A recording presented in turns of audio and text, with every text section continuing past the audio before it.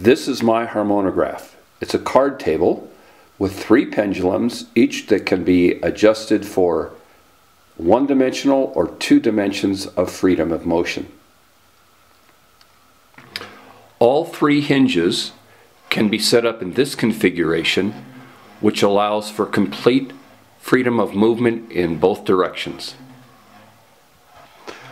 By removing the middle washer, the hinges can be converted into single motion or one-dimensional pivoting.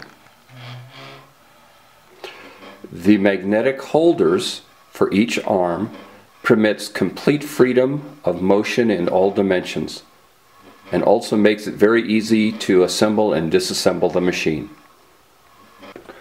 To create a harmonogram, first you set up the number of degrees of freedom you want for each of the three hinges on each arm.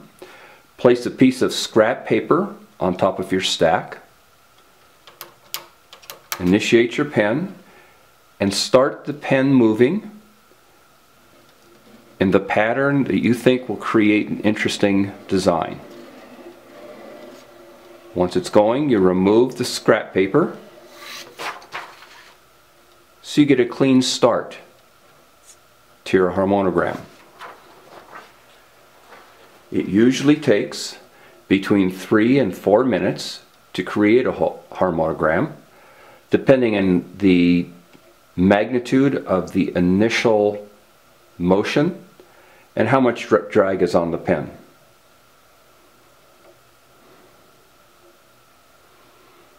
In this case, I'm using a gel pen on ultra glossy paper, which has very little drag. So it's going to run for a long time, and that also means that the lines will be closer together.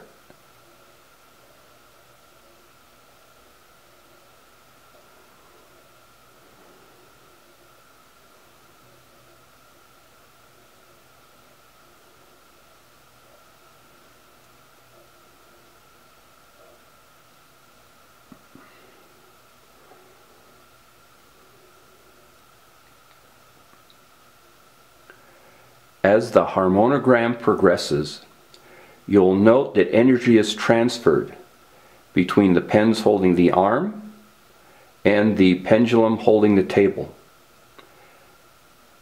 So as time goes on, the table will increase, decrease, and increase again the magnitude of its oscillations.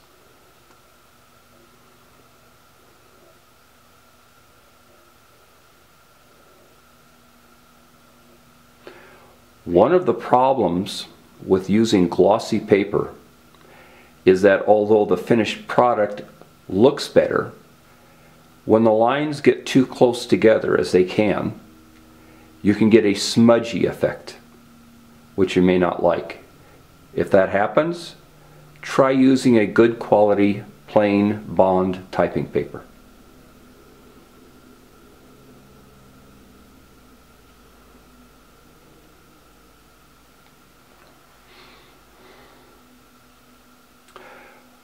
When you're ready to stop the image, lift the arms and remove the drawing and you're done.